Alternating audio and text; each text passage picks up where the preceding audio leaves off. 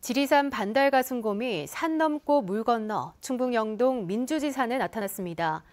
위치를 추적해봤더니 약 일주일간 머문 것으로 확인됐습니다. 이제는 우리도 반달 가슴곰과의 공존에 대비해야 할 때가 아닌가 생각하게 됩니다. 오늘과 내일 이틀 동안 집중 보도합니다. 먼저 조미애 기자입니다. 2015년 1월에 태어나 9달 만에 지리산에 방사된 수컷 반달가슴곰 KM53, 일명 53입니다.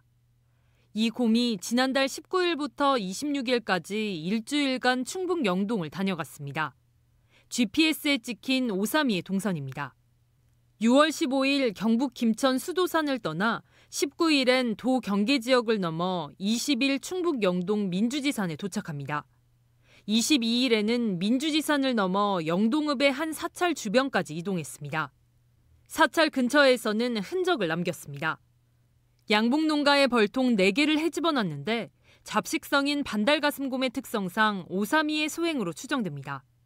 저희 마을 그 계곡에다가 어, 벌통을 갖다 놨는데 이상하게 막 딱 흐트러져 있더래요. 그게 곰밖에 그럴 게 없거든. 이후 상촌면 삼봉산, 용화면으로 내려와 다시 민주지산으로 왔고 현재 무주를 거쳐 다시 수도산으로 돌아가는 중입니다. 충북에서 반달가슴곰 출현이 확인된 것은 이번이 처음이지만 가능성은 꾸준히 제기돼 왔습니다. 생물종보전원은 3년 전 실시한 연구 용역에서 민주지산을 곰의 서식지로 적합하다고 보고 주목했습니다. 민주유산 충분합니다. 2000년대 초반까지만 해도 곰이 서식하고 있다는 제보가 꾸준히 있던 곳이고요. 백두대간에 속하는 지역인데 굉장히 서식 환경이 좋습니다. 먹이량도 풍부하고 충청북도와 영동군도 곰 서식 가능성을 염두에 두고 지난해 민주지산과 물안계곡 일대에 무인 카메라 11대를 설치해 모니터링을 진행했습니다.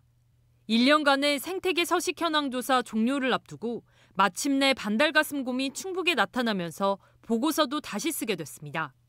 반달가슴곰이 생육하지 않고 있다고 했다가 이제 생육하고 있으니까 반달가슴곰에 대한 이제 대처 요령이라든지 반달가슴곰하고 이제 충돌됐을 때 대응 매뉴얼 뭐 이런 사안을 전문가들은 반달가슴곰 오삼이가 왜 민주지산까지 왔는지 또 올 것인지 다른 개체도 올지 이런 질문들에 답하기 위해선 장기적인 모니터링이 필요하다고 봤습니다. MBC 뉴스 조미입니다.